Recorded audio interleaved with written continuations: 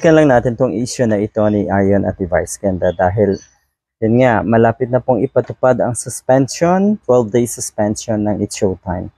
Sa pagkakataong ito, kung titignan niyo po itong article na ito ng Bylon ngayon, pwede niyo i-follow, puntahan yung page na yan. Ito yon pagkain ng icing ni na Ayon at Vice, walang mali siya para sa mga bata. Ito yung madalas nating banggitin eh. Madalas na rin sabihin ng mga netizens na ang mali siya dyan ay yung mga or ang nagkaroon lang ng, ng doon sa issue na yon, doon sa insidente na yon, ay yung mga una pa lang ay hate na hate ng ABS-CBN, It's Showtime at sina Vice Ganda. Sila po ang madudumi ang isip. Katulad nga ng sinabi ko dati, abay kahit sino, siguro sinong bata ang nakapanood nung, nung icing issue na yon, walang mali kahit, kahit katiting. Hindi maiisip yung double meaning nung ginawa ni Vice at ni Ayan. Kung ang concern nila ay mga bata lang ha, kung yun ang totoo na concern talaga nila. Ito yan, sa punto ng isang eksperto na si Dr. Camille Garcia, siya po ay CEO Administrator of the Clinic of the Holy Spirit Incorporated. Hindi niya mabibigyan ng mali siya ng mga bata ang ginawa ni, ni Ayon at ni Vice Ganda. Totoo naman kasi kahit siguro sinong bata ang tanungin mo at ipakita yung video na yon kahit anong kultura pa yan, saang kultura pa galing yung batang yan, siguradong hindi nila bibigyan ng mali siya yan.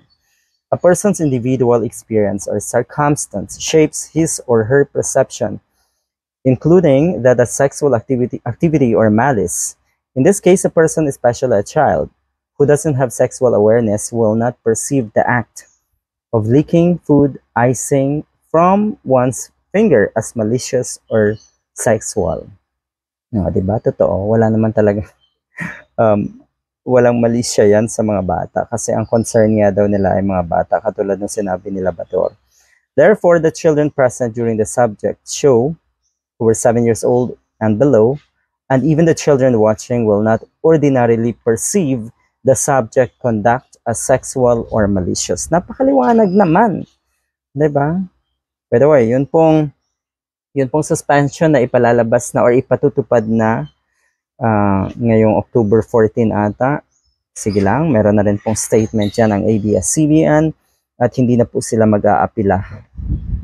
Okay, wala na rin naman talagang mangyayari. So dapat lang, sabi ng mga netizens, huwag mag-alala. Wala namang lilipat eh na mga kapamilya. Wala namang uh, lilipat na mga um, It's Showtime viewers sa ibang noontime program. Hindi, hindi yan mangyayari. Mag-aantay po ang mga viewers ng It's Showtime at pagbalik ng It's Showtime, boom!